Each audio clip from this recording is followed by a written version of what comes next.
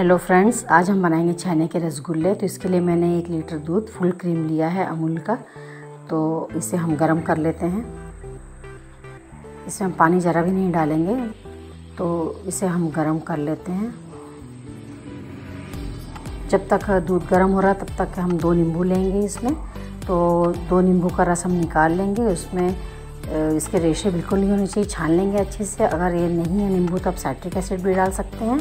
या फिर आप सिरका भी डाल सकते हैं। तो यहाँ पर मैंने दो नींबू लिया है। उसका जितना रस होगा उतना ही हम इसमें पानी मिलाएँगे। अगर दो चम्मच रस है तो दो चम्मच हम इसमें पानी डालेंगे।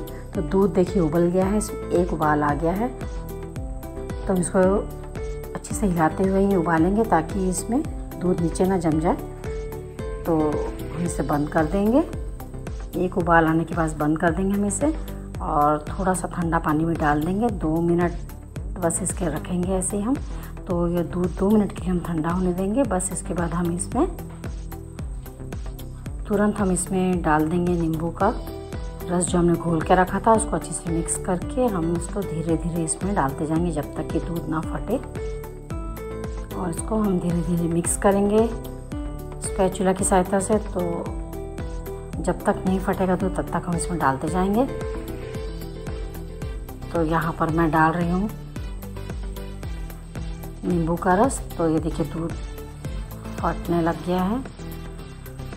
अगर दूध पूरा फट जा रहा है जल्दी तो पूरा रस इसमें ना डालें, नहीं तो ज़्यादा खट्टा हो जाएगा। और यहाँ ये फट गया अच्छे से। देखिए, इस प्रकार से छेना बन गया है जल्दी से। तो हम इसे दो मिनट के बस ऐसे रखेंगे, उसके बाद हम इसे छान लेंगे। एक छन्नी मैंने ली है, उसके ऊपर एक कपड़ा हम रखेंगे कॉटन का। सूती का कपड़ा रखकर हम इसे छान लेंगे अच्छे से।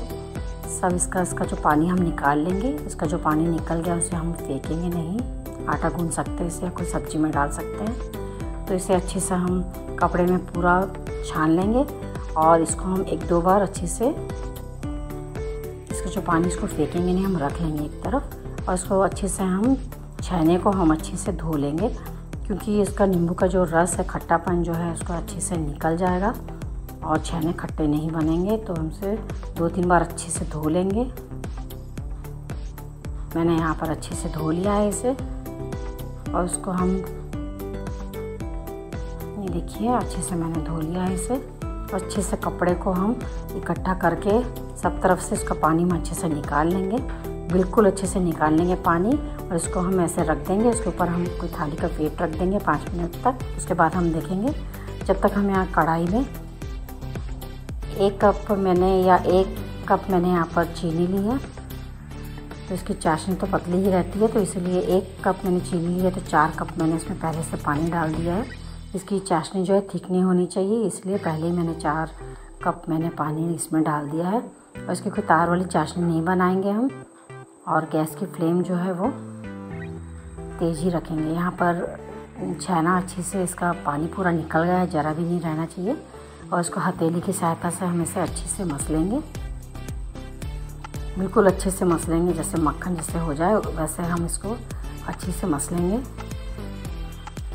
छहना इसका बहुत अच्छा होना चाहिए, तभी अच्छे बनेंगे इसके बॉल्स तो यहाँ एक चम्मच मैं यहाँ पर मैदा डाल रही हूँ। मैदा नहीं तो कोई इसमें सूजी भी डालते हैं या फिर आरा रोट भी डालते हैं तो एक चम्मच मैं यहाँ पर मैदा डाल रही हूँ। तो मैदा डाल के इसे अच्छे से और गूंद लेंगे हम। और फिर इसके छोटे छोटे बॉल्स हम बना लेंगे इस प्रकार, गोल गोल गोल से ऐसे। तो बॉल्स हमारे टूटने नहीं चाहिए। अगर हमारा अच्छे से छेने को हम अच्छे से अगर हथेली से मैश कर लेंगे तो ये देखिए गोले अच्छे बनेंगे, टूटेंगे नहीं। नहीं तो फिर चाशनी में डालते ही टूट जाएँगे। तो ये पाँच सात मिनट तक हमको अच्छे से ये हथेली से मैश करने पड़ेंगे, ताकि मैदा और छाना अच्छे से मिक्स हो जाए। फिर हम उसके गोले बनाएँगे, बड़े या छोटे जैसे भी। फिर चाशनी, उबलती हुई चाशनी में हम इसे एक एक करके डालेंगे बॉल्स को, इकट्ठा बॉल्स को हम नहीं डालेंगे। चाशनी में मैंने इलायची पाउडर भी डाल दिया था।